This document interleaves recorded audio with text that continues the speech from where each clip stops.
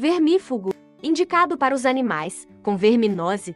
O exame é feito através das fezes.